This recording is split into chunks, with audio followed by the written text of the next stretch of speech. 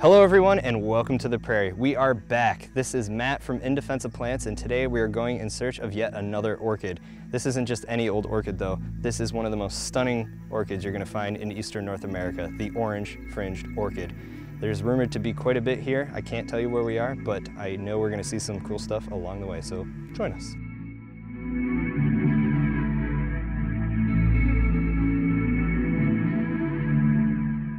Meet one of the weirdest Monardas. This is spotted bee balm, Monarda punctata, and it's one of the most outlandish of the group. You would almost not guess that it would belong in that genus at all. It sweetens its already beautiful floral display with these colorful leafy bracts, which makes a lot of sense. It grows in sandy, nutrient impoverished soils, and it wants to save as much energy as it can. Leaves are way cheaper to produce than flowers.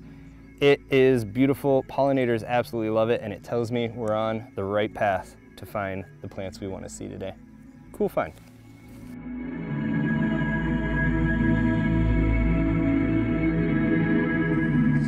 So there's a lot of different milkweed out there and all of them are great, but this is one of my favorites because it's one of the most dainty and it's right here. This is the whorled milkweed and it's everything you'd want in a milkweed, but kind of in miniature. It's got these narrow leaves, very thin, lanky stalk, and the tiniest milkweed flowers. Now, Still has a wonderful fragrance. It attracts plenty of pollinators, especially smaller bees, and pretty much functions the exact same way as most milkweeds do, except that it really loves dry, sandy soils. You'll find it very prolifically in spots, especially just right alongside the highway. It's a wonderful pollinator plant and another great milkweed to put in a native plant garden, especially if you want to attract some monarchs to your garden.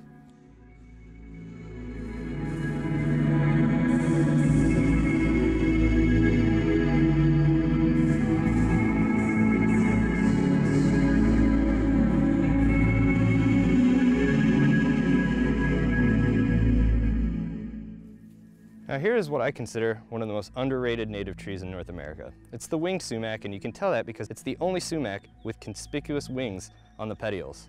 It's a wonderful tree. It's great for pollinators, especially if you have female and male plants together, and they produce these bright red berries that come winter when there's not a lot of food around on the landscape are excellent starvation food for birds, especially in the months of February and early March when they're migrating back from a long winter in tropical America.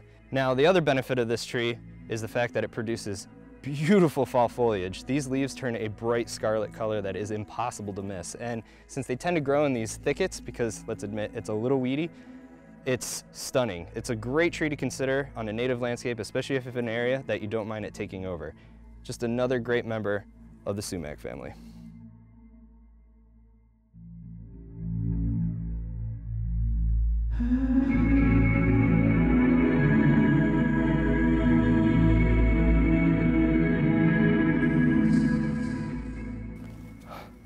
I can't believe what I'm seeing right now. This is one of the most remarkable scenes I've ever seen.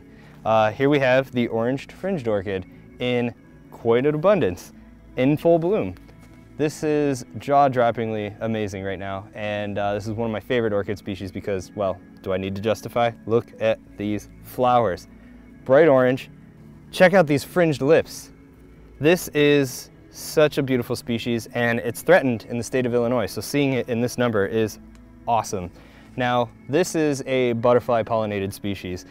It offers up its nectar in these deep tubes that requires the butterfly to stick its face all the way down in to access it. And as soon as the butterfly's eye comes into contact with the pollinia, they get stuck literally to its eyes so that the next time it goes and feeds, it has to do the same thing and hopefully pollen gets transferred. This is such an awesome species and I'm so happy to see it doing so well here. It's worth braving all of the mosquito-borne illnesses we're probably going to end up with, uh, especially the cameraman here, to uh, come and see this. So thank you for joining us. This is just fantastic.